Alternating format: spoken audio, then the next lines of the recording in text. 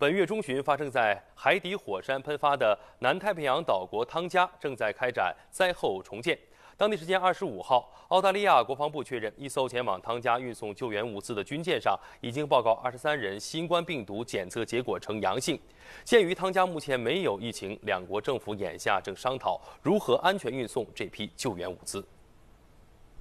澳大利亚国防部长彼得·达顿二十五号介绍，澳海军军舰阿德莱德号二十一号下午从布里斯班启程，运载工程设备、水和帐篷等救援物资。达顿称，军舰上搭载有多架奇努克运输直升机，可以通过空中投放等非接触方式将物资送达。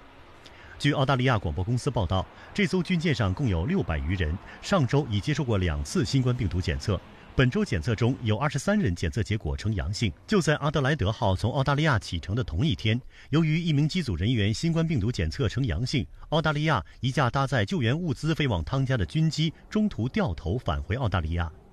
汤加外交人员此前表示，为防止新冠病毒传入汤加，所有运至汤加的救援物资都需要检疫，外方人员可能无法获准下飞机。